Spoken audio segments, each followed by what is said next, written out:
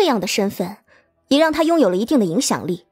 倘若他真的能够为我们化解烟霞上神突然陷入暴走的谜团，对于我们烟霞一脉来说，也算是一场福泽。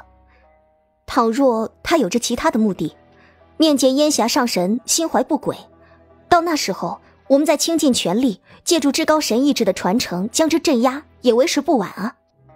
毕竟，我等体内都有着烟霞上神的血脉传承，这个谜团一日无解，恐怕我们烟霞一脉。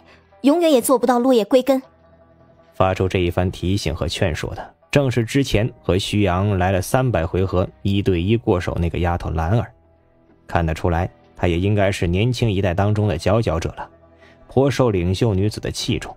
这领袖女子看向自己这爱徒这般虔诚的为徐阳请愿，也是无奈的叹了口气，轻轻挥了挥手：“你们都站起来吧，此番作态成何体统？当着外人的面。”要挟为师，真是你们这些好徒儿该做的事啊。不过兰儿刚刚所言也并非全无道理。烟霞上神突然暴走这件事，确实是历代领袖掌门心中为之疑惑的事情。倘若这小子真能帮我们化解谜团，我们倒也欠了他一个人情了。就此放他通过幻境，也未尝不可。徐阳的目的已经达到，脸上露出了和煦的微笑。对着下方这个领袖掌门轻轻点头。那就有劳各位带路了。仙子们不做更多犹豫，在掌门领袖的带领下跟从在后。徐阳则在那个叫兰儿的丫头守护之下，跟在队伍的最后方。你们这个掌门领袖看起来年龄也不小，怎么不见你们烟霞一脉有男子出现？兰儿面色羞红。似乎这里面涉及到一些烟霞一脉十分禁忌的秘密，徐阳自知没有办法进一步探知，也是随便找了个话题化解了眼前的尴尬。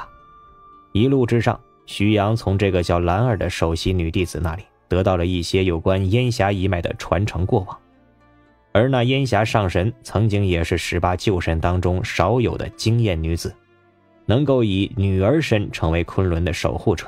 那女子自然也绝非凡俗，徐阳心中似乎对烟霞上神的一切相关秘密也都燃起了兴趣。没过多久，在那领袖女子的亲自带领下，徐阳以及身后一众女弟子纷纷来到了这所谓的烟霞幻境的禁忌所在。这个地方是一座湖中心的空旷山谷，说白了就是一处独立于湖中的炼狱。所谓的禁忌，指的就是这座湖中岛屿。周围覆盖的强大法阵，领袖女子一番操作，总算是将法阵外围无比强悍的守护机制暂时封印了起来。而后，她缓缓转过身，看向徐阳：“你是外来者，纵然实力强大，但想要突破我禁地的封印，也绝非容易之事。我只能给你一刻钟的时间，能否化解下方九十九道阵法封印，就要看你自己了。倘若你能在规定时间内得手。”那你自然便有进入到岛屿中心的湖底深处，面见烟霞上神封印的资格。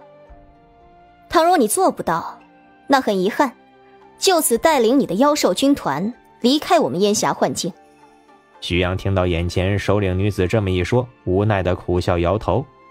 如果仅仅只有这么一点强度的话，那何须一刻钟的时间？徐阳不过轻轻打了个响指。脚下强大无比的鬼谷奇门阵法，完整的烙印迅速浮现，巨大的阵法图腾悬浮当空，迅速笼罩了整个湖中岛屿的上方。在这阵法的影响之下，九十九道封印在极短的时间内完全错乱，之前所拥有的守护形态分分钟便分崩离析。在徐阳强大的鬼谷奇门阵法力量影响下，完全失去了封印的效果。这样一来，这九十九道天之锁链形同虚设。徐阳就这样当着所有人的面，安然无恙地落足于岛屿中间，仰头再次看向虚空上方这各方仙子们的时候，这些丫头们一个个目瞪口呆，早已经被徐阳一番惊为天人的操作彻底吓坏了。师尊，这家伙还是人类吗？他竟然强大到这样的地步，他究竟是如何做到的？而刚刚一直和徐阳较为亲近的兰儿丫头，则忍不住露出了一抹微笑。心中对徐阳高大上的形象更尊崇了几分，倒是他的师尊强行镇定了几分，倒吸一口凉气。幸亏之前我们没有一见面就和这小子为敌，否则恐怕此时我们都已沦为他掌中的一把玩物了。凭他的实力，想要抹杀我们所有人，都是轻而易举的事情。这首领女子好在还有自知之明，一眼便看透了徐阳深不可测的境界之后，便再也没有任何想要阻拦他的欲望，无奈的叹了口气，对着下方岛屿中心站立的徐阳打出了一道灵魂烙印。而那便是开启岛屿通往湖下深处最后一颗核心封印的钥匙。烟霞上神的封印地就是在这岛屿下方，正对着湖心底部那个地方。进去容易，想要出来就十分困难了。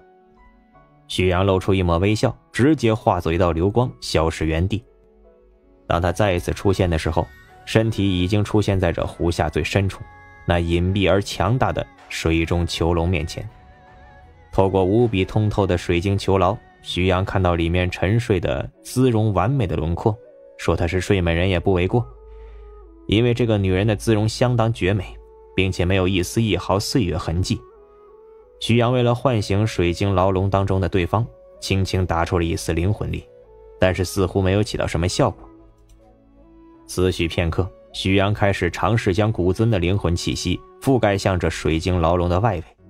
一直过了整整三天三夜，所有精神力覆盖在这囚笼外围的气息，形成一道又一道灰白色的光线，渗透进了囚笼的内部。终于，在这股气息的影响之下。那睡美人一般的烟霞上神缓缓睁开双眼，属于十八上古旧神当中惊艳女子的气息开始复苏。第一眼便看到徐阳身上那无与伦比的大气运，这烟霞上神立刻恢复了几分精神。我已悉数知晓你的来意。作为十八旧神三位老大哥的意志守护者，我替他们感谢你。只是，如今的至高神意志。远远没有你想象中的那么简单。这座水晶囚牢，便是至高神意志强行加持在我的灵魂之外的。我被这股力量困锁住了心智，很难再和我的血脉拥有者碰面了。若非用一些残忍的手段，向他们释放出一种我已疯癫的信号，恐怕那些丫头们会不遗余力的冲破枷锁。想要与我见面的，可是当我与自己的血脉近距离接触的时候，至高神的意识就会提前复苏，我的那些后人，都将被这股力量完全吞噬。徐阳露出了满意的微笑，原来如此啊！合着弄半天，前辈是在用这样的方式保护自己的后人。